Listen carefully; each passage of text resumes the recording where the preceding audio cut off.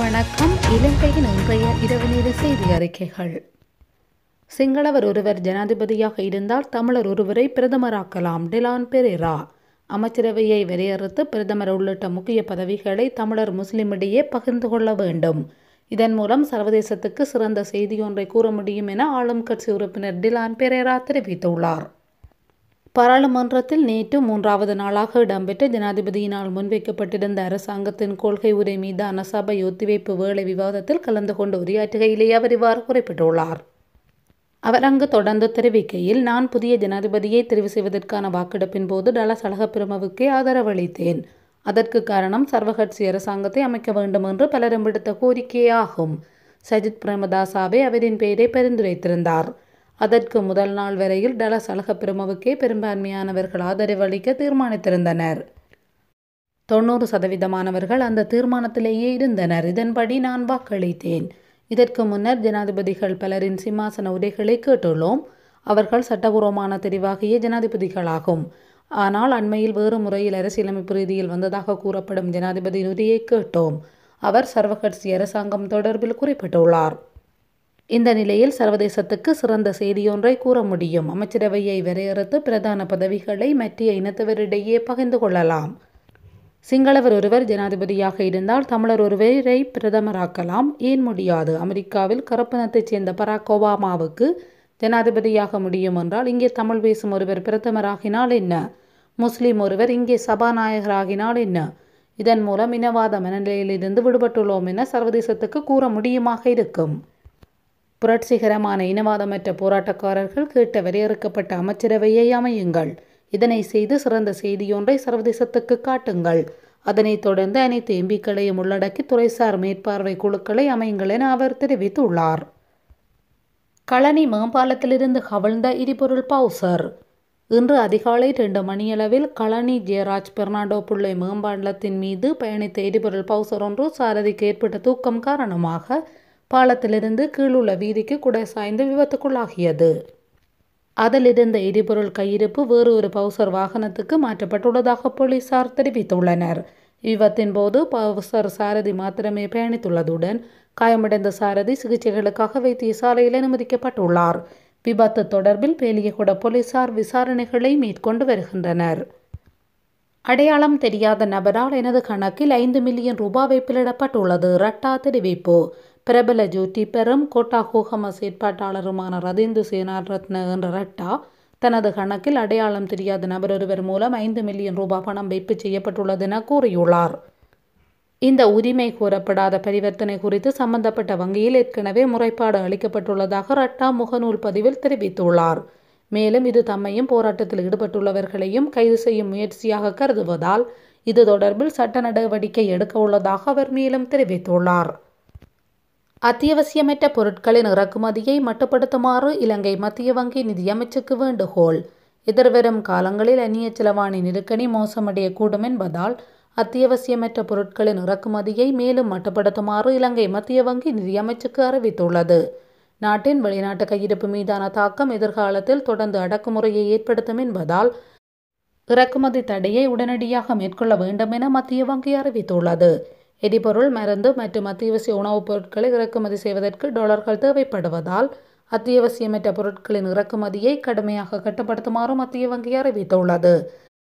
இதன்படி இறக்குமதி மட்டுப்படுத்தப்பட வேண்டிய அத்தியாவசியமற்ற பொருட்களின் மூன்று பட்டியல்களையும் மத்திய வங்கி அனுப்பியுள்ளதுடன் இரண்டாயிரத்து ஐநூறுக்கும் மேற்பட்ட அத்தியாவசியமற்ற பொருட்கள் இதில் உள்ளடங்குவதாக தெரிவிக்கப்பட்டுள்ளது.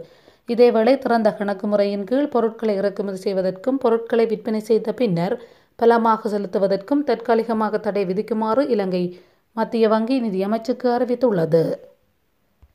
சிறுபான்மை பெரும்பான்மை என்ற பேதமின்றிய செயற்பாடுகளை நாடு மீட்சி பெற வழிவகுக்கும் ரிசார்ட் எம்பி தெரிவிப்பு. சிறுபான்மை பெரும்பான்மை என்ற பேதமின்றி நாட்டை கட்டியெழுப்பும் போதுதான் நாடு பொருளாதாரத்தில் மீழ்ச்சி பெறும். அகில இலங்கை மக்கள் காங்கிரஸ் தலைவரும் பாராளுமன்ற உறுப்பினருமான ரிசார்ட் பதியுதீன் பாராளுமன்றத்தில் தெரிவித்துள்ளார். ஜனாதிபதியின் கொள்கை பிரகடன உரை தொடர்பான விவாதத்தில் உரையாற்றிய போதே அவர் இவ்வாறு தெரிவித்துள்ளார். ஜனாதிபதி ரணில் விக்ரமசிங்க அவர்களுடைய கொள்கை பிரகடன உரையில் தெரிவிக்கப்பட்ட கருத்துக்களோடு நாங்கள் உடன்படுகின்றோம். இந்த நாட்டிலே நல்ல மாற்றங்களை கொண்டு வருவதன் ஊடாக பொருளாதார நலனை மையமாக வைத்து முன்னோரக்கூடிய வாய்ப்பு தென்படுகின்றது. அதனை அவர் சரியான முறையில் பயன்படுத்திக் கொள்ள வேண்டும்.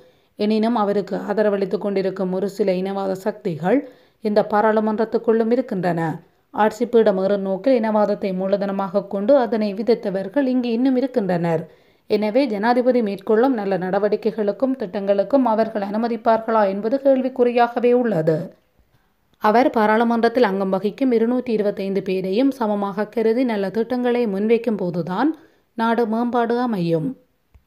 குறிப்பாக பத்தொன்பதாவது திருத்தத்தை இருபத்தி ரெண்டாவது திருத்தத்தின் ஊடாக கொண்டுவரப் போவதாக தெரிவித்துள்ளார். அவ்வாறான செயற்பாடுகள் தான் இந்த நாட்டின் ஜனநாயகம் மீண்டும் தலைத்தோங்க வழிவகுக்கும். அத்துடன் வெளிநாட்டு உதவிகள் எளிதில் கிடைக்கக்கூடிய சந்தர்ப்பம் ஏற்படும். அரகல போராட்டக்காரர்களின் விடயத்திலே கண்மூடித்தனமாக செயற்படாமல் ஜனநாயக ரீதியில் செயற்பட வேண்டும். அடாவடித்தனமான வீடுகளை உடைத்து சேதங்களை விளைவித்தவர்களுக்கு தண்டனை வழங்குங்கள்.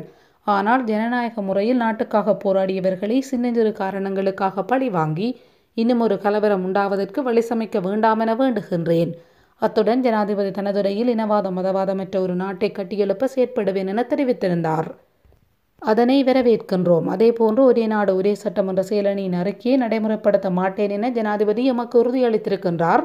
அவருக்கு எமது நன்றியை தெரிவித்துக் கொள்கிறோம் என ரிசாத் அத்பதியுதீன் மேலும் தெரிவித்துள்ளார்.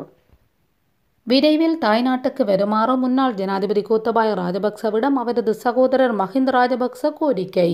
விரைவில் தாய்நாட்டுக்கு வருமாறு முன்னாள் ஜனாதிபதி கோத்தபாய ராஜபக்சவிடம் அவரது சகோதரர் மஹிந்த ராஜபக்ச கோரிக்கை விடுத்துள்ளார். ஜூலை ஒன்பதாம் திகதி முதல் ஒரு மாதத்துக்கும் மேலாக வெளிநாட்டில் முன்னாள் ஜனாதிபதி கோத்தபாய ராஜபக்ச தஞ்சமடைந்துள்ளார். போராட்டக்காரர்கள் ஜனாதிபதி மாளிகைக்குள் பிரவேசித்ததை அடுத்து தாய்லாந்து சென்ற முன்னாள் ஜனாதிபதி சிங்கப்பூரிலிருந்து தாய்லாந்துக்கு சென்றுள்ளார். இருப்பினும் தாய்நாட்டுக்கு வருமாறு அவரது சகோதரர் விடுத்த கோரிக்கைக்கு கோட்டபாய ராஜபக்ச இன்னும் உறுதியான பதில் எதுவும் கிடைக்கவில்லை. முன்னாள் ஜனாதிபதிக்கு இலங்கையில் வாழ்வதற்கு எந்தவித பாதுகாப்பு அச்சுறுத்தலும் இல்லை என பாதுகாப்பு தரப்பினர் உறுதிப்படுத்தியுள்ளனர்.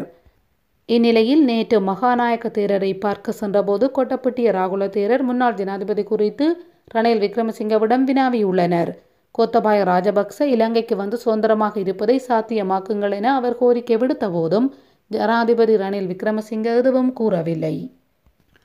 உண்மையே கூறப்போனால் இந்த அரசாங்கத்துக்கு மக்களின் ஆதரவு இல்லை. ராஜபக்சாக்களின் பாதுகாப்பிலேயே ரணில் விக்ரமசிங்கே இருக்கின்றார்.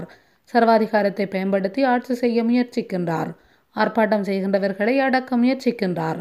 பொருளாதார ஏற்றத்தாழ்வை பலவந்தமாக கட்டிப்பிடித்து கொண்டு இருக்கின்றார் இவைகளெல்லாம் நிரந்தரமாக இருக்கப் போவதில்லை. இந்த அரசாங்கமும் நிரந்தரமாக இருக்கப் போவதில்லை. பொருளாதாரத்தையும் இந்த அரசாங்கத்தால் சரிப்படுத்த முடியாது. எனவே இந்த அரசாங்கம் நிரந்தரமில்லாத அரசாங்கம்.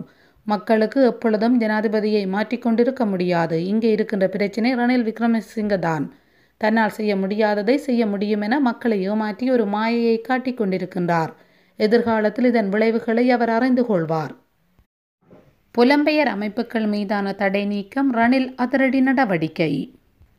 ஜனாதிபதி ரணில் விக்ரமசிங்க தலைமையிலான இலங்கை அரசாங்கம் சில புலம்பெயர் அமைப்புகள் மற்றும் தனிநபர் அமைப்புகள் மீதான தடையை அதிரடியாக நீக்கியுள்ளது. அதற்கமைய உலகத் தமிழர் பேரவை மற்றும் அதன் பேச்சாளர் சுரேன் சுரேந்திரன் மீதான தடைகளை இலங்கை அரசாங்கம் நீக்கியுள்ளது. பிரிட்டன் தமிழர் பேரவை கனடா தமிழ் காங்கிரஸ் ஆகிய அமைப்புகள் மீதான தடையும் நீக்கப்பட்டுள்ளது. பாதுகாப்பு அமைச்சின் விசேட வர்த்தமானி அறிவித்தல் மூலம் இந்த தடை நீக்கப்பட்டுள்ளது.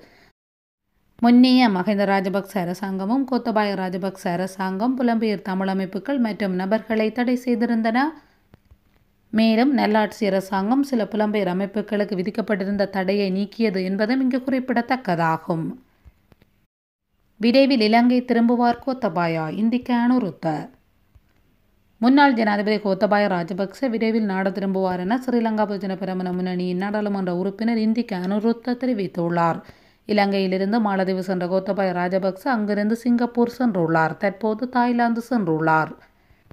எதற்காக இவ்வாறு சுற்றித் திரிகின்றார். அவருக்கு இலங்கை வருவதற்கு உகந்த சூழ்நிலை இல்லையா என ஊடகம் ஒன்று எழுப்பிய கேள்விக்கு பதிலளிக்கையிலேயே அவர் இவ்வாறு தெரிவித்துள்ளார்.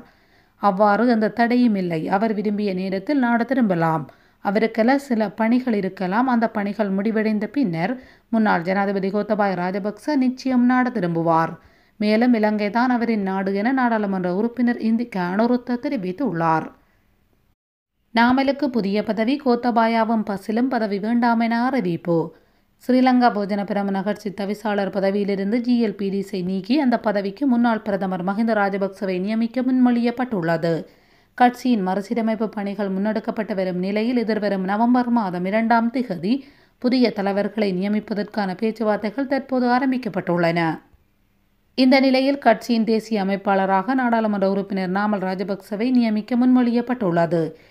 எனினும் இது தொடர்பான விவாதங்கள் நடைபெற்று வருவதால் எதிர்காலத்தில் இந்த நிலைப்பாடுகள் மாறலாம் என கட்சி வட்டாரங்கள் தெரிவிக்கின்றன. கட்சியின் ஸ்தாபகரான பசல் ராஜபக்ச மற்றும் முன்னாள் ஜனாதிபதி கோத்தபாய ராஜபக்ச ஆகியோர் எந்த ஒரு பதவியையும் ஏற்கப் போவதில்லை என தீர்மானித்துள்ளனர். கூடிய விரைவில் தொகுதி அளவில் மக்களை சந்தித்து அங்கத்துவ கட்சிகளுடன் பேச்சுவார்த்தையை தொடங்க கட்சி முடிவு செய்துள்ளது. இத்துடன் இலங்கையின் இன்றைய இரவு நேர செய்திகள் நிறைவடைகின்றன. அடுத்து வரும் செய்தி தகவல்களோடு உங்களை சந்திப்போம். நன்றி.